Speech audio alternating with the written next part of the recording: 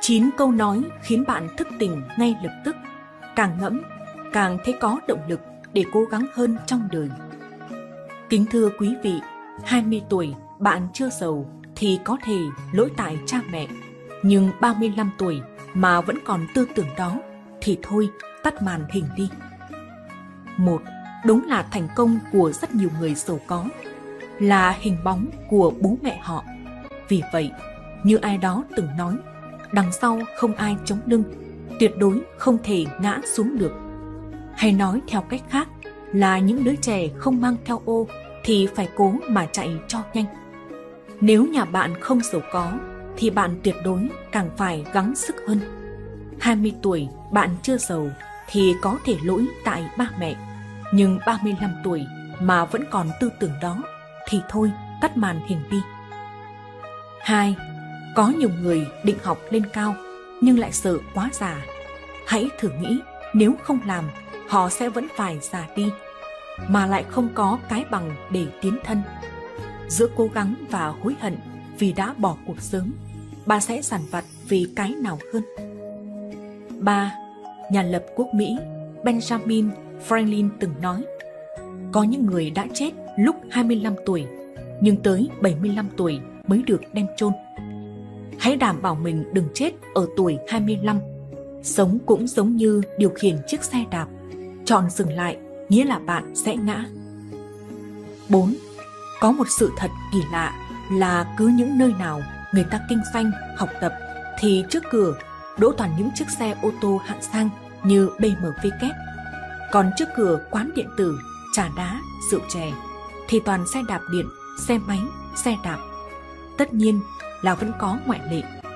Nói thế không có nghĩa bảo người nghèo lười biếng mà là họ đang chăm chỉ sai chỗ bởi vậy mà người giàu cứ tiếp tục giàu, mà người nghèo vẫn cứ mãi nghèo. Thành công cũng có những công thức. Google một phút sẽ có rất nhiều. Bạn biết nhưng vẫn cứ lười và chỉ hoãn đó thôi. 5. Sinh viên thì bạn có thể nói vật chất không quan trọng, nhưng 25 tuổi vẫn còn tư tưởng đó thì bạn cần phải thay đổi ngay. Càng sống lâu càng thấm nhiều bạn sẽ nhận ra đời nhiều khi chỉ quan trọng mỗi chữ tiền, tiền và tiền thôi. 6. Tốc độ thành công của bạn nhất định phải vượt qua tốc độ già đi của bố mẹ. Tôi từng đọc được câu đó ở trên mạng. Thường đàn ông 35 tuổi mới bắt đầu lên đỉnh cao của sự nghiệp. Lúc đó thì cha mẹ đã quá già, để đợi bạn báo ơn. Cố gắng tăng tốc thành công để cha mẹ còn có ngày còn được nhờ ở bạn. 7. Đàn ông trưởng thành, đừng có chuyện gì cũng đưa lên mạng. Dành cả tuổi thanh xuân của mình để cắm mặt vào màn hình, đi like ảnh của người khác là bạn đang lãng phí tuổi trẻ, một đi không trở lại rồi đấy. Để có nhiều việc để làm hơn là ngồi chỉnh ảnh để sống ảo. 8. Trong bộ phim nổi tiếng một thời của Hàn Quốc, có một câu nói vô cùng thấm. Người lớn chỉ là đang chịu đựng chỉ là đang bận rộn chuyện của những con người trưởng thành. Chỉ là đang cố gắng tỏ ra mạnh mẽ để gánh vác trách nhiệm của tuổi tác. Người lớn cũng biết đau. Đàn ông rất sợ để lộ ra những tổn thương của mình cho thiên hạ thấy vì họ sợ bị coi là yếu mềm nhưng là con người thì ai chả phải có những nỗi đau bạn có quyền kêu mệt bạn có quyền than thở nhưng đừng lâu quá là được. 9. Tôi từng đọc được trên mạng rằng bố mẹ cũng già rồi, cứ cho là còn sống được 20 năm nữa đi. Mỗi năm con về thăm nhà một lần, hết Tết năm nay thì chỉ còn 19 lần nữa thôi. Đi xa rồi, bà sẽ thấy gia đình không chỉ là một cái tên. Ra ngoài đường, một cốc trà đá, một cái khăn ướt, người ta cũng chẳng cho không. Về nhà cơm ngon canh ngọt mẹ nấu chẳng bao giờ kể công. Tết này hãy cố gắng tắt điện thoại và ở lâu với cha mẹ nhé không còn nhiều dịp đâu. Nhà vua lần lượt hỏi những người phụ nữ gần gũi mình nhất. Ông bắt đầu hỏi cô vợ thứ tư mà mình yêu thương nhất. Nàng biết là ta yêu nàng nhất.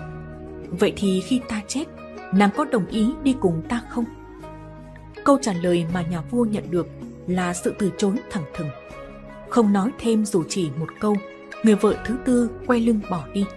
Nhà vua cảm thấy bị tổn thương vô hạn.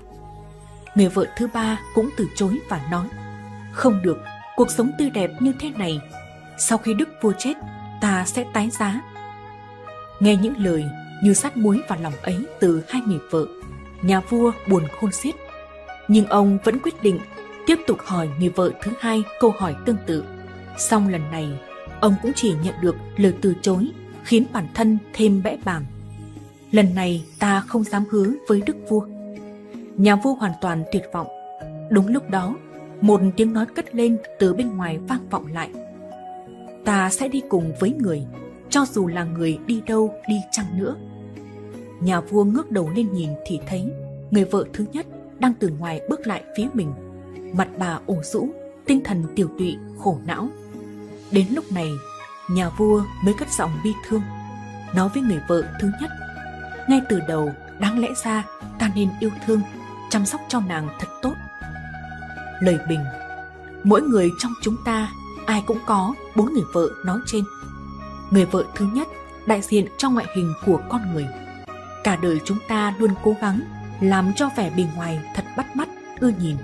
Xong sau khi chết, thứ ngoại hình được chăm chút, từng ly từng tí ấy cũng biến mất.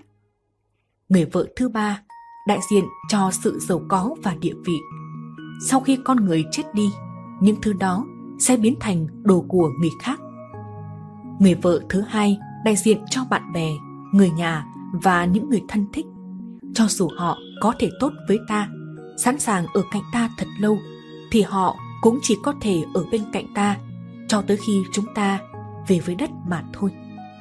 Người vợ thứ tư đại diện cho tâm hồn, linh hồn của chúng ta. Không ít người trong chúng ta đôi khi vì mải theo đuổi tiền tài, danh vọng mà quên mất những thứ nội tại trong tâm hồn. Trong lúc theo đuổi diện mạo bên ngoài, sự giàu có hay vui vẻ, chúng ta thường làm ngơ hoặc quên mất sự tồn tại của hai yếu tố này mà không hề biết rằng sau khi chết đi, linh hồn là thứ duy nhất có thể mang theo khi chết. Trong cuộc sống này, nhiều người trong chúng ta thường chỉ quan tâm tới việc hưởng lạc từ những thứ như tiền tài, danh vọng mà sao nhãng sự tồn tại của linh hồn và tinh thần. Vì thế mọi người nên nhớ thật kỹ, thứ mà mỗi người nên quan tâm nhiều nhất trong cuộc sống này, đó chính là nội tại của chúng ta, tức là linh hồn.